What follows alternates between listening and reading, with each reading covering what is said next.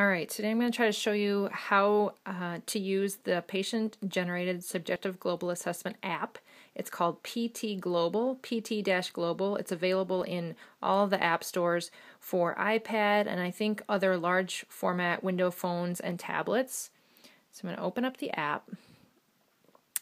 And if you see across the top, there's seven tabs. And those first five tabs are the ones that are meant to be filled out by the patient. So essentially, you would give the tablet to the patient and they would fill those things out.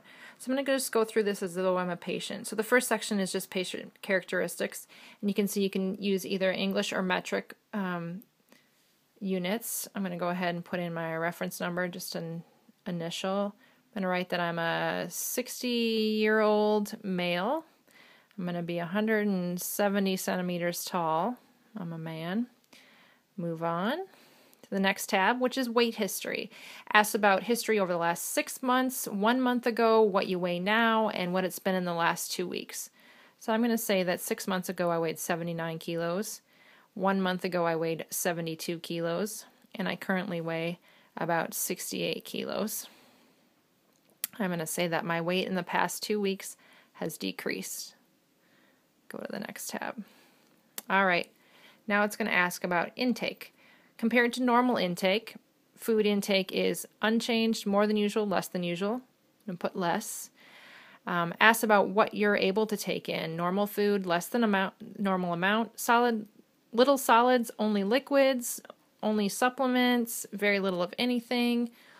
Only tube feedings, um, or normal food. So I'm going to write that I am able to take in normal food, but a less than a normal amount. All right. Now the next is going to ask us why we're having a hard time eating. So for this particular patient, I'm going to write no appetite, doesn't feel like eating, maybe that things taste funny, and that he gets full quickly. Now, if you were to choose pain or other, they both have asterisks by them, which means you can free text in other things. If you open up the pain, it asks you where the pain is. The other would include things that make it hard to eat, like depression, money, dental problems. All right, this is the fifth and final tab that's meant to be filled out by the patient, talking about physical activity. Talks about physical limitations that they have, normal, no limitations, all the way down to pretty much bedridden. I'm going to put that this is, uh, he's not his normal self, but able to get up and about. So this is the end of the patient section. So we get a, a notice saying, um, thank you for completing this. Please return to your medical team and let them know if you have questions. This is when the patient would turn it in. And the next session is meant to be completed by the dietitian or other care provider. So you can see we're going to talk about disease state, metabolic stress, and physical exam if we choose to fill that portion out. So the first is the primary diagnosis of the patient. There's several options listed cancer, AIDS, pulmonary, ulcers, trauma, chronic kidney disease. I'm going to choose cancer. That's going to give me a host of other subcategories to choose from solid tumors to hematological malignancies. I'm going to choose for this patient multiple myeloma. It also gives me the option of disease stage and secondary diagnosis. We're still working on the primary diagnosis right now. Um, the prim- I'm not going to put in disease stage for this patient. I am going to put in that this is a recurrence. I'm going to go to the next tab. All right, now we're on to the metabolic stresses. Those portions of metabolic stress measured by the subjective global assessment include fevers and corticosteroids. We can choose both the severity of the fever and the duration of the fever. So we're going to choose that he has no fever right now. Um, we are, however, going to put that he's on some dexamethasone for treatment of his multiple myeloma. We'll choose that level for right now. Go to the next tab this is the physical exam portion. This is the portion of the subjective global assessment that has frequently confounded dietitians because it takes a significant amount of time to complete. Not all dietitians are comfortable doing a physical exam or even fully trained in doing a physical exam. And at a lot of institutions like mine, a physical exam is completed by other care members of the team, so it doesn't really make a lot of sense to always have it in here in our exam. It does make the SGA more accurate, but it's absolutely not required for this um, scoring tool. You can see the physical exam includes muscle mass and tone, and it talks a little bit about the muscle mass and tone and gives you the choice of mild, moderate, severe, or no deficit fat stores. same thing. Talks a little bit about it. Talks if they have mild, moderate, severe, or no deficit.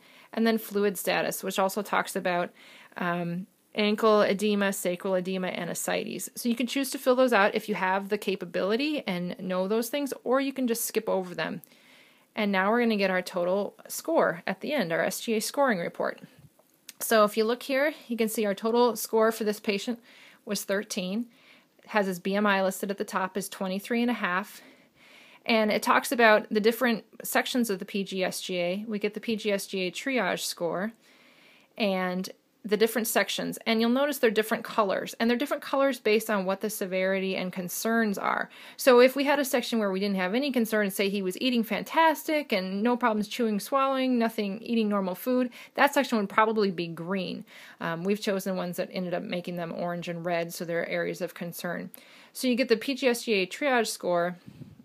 You also get the traditional SGA score ranking, which is the ABC level that's been um, used for many, many years. This form also gives you the weight change in the past six months, the weight change in the last one month, and it talks about the triage of the PGSGA, what sort of things you need to take care of right now. There's a critical need for improved symptom management in this patient and or nutrient intervention options. So this is the report that you can choose to send to an email address right there. I'm not actually going to do that part, but you can send it to any email address you want. When you want to start over on a new patient, you click back to patient, you can clear off the form at any time and start over.